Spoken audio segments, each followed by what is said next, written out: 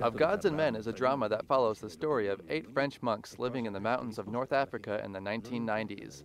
The acclaimed French director Xavier Beauvois delivers another stirring film based on the real events of a clash of religions.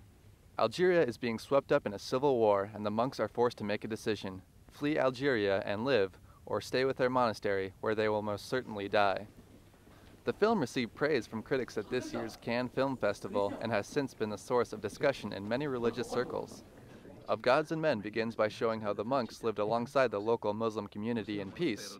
However, the camaraderie quickly vanishes as Muslim fundamentalists begin to make their presence felt.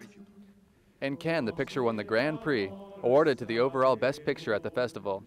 Since then, Sony Picture Classics has acquired the rights to the film for distribution in the US, New Zealand, and Australia. It will also be France's Oscar submission this year for the foreign language category. The finalists will be announced in January, and the ceremony will be held the following month.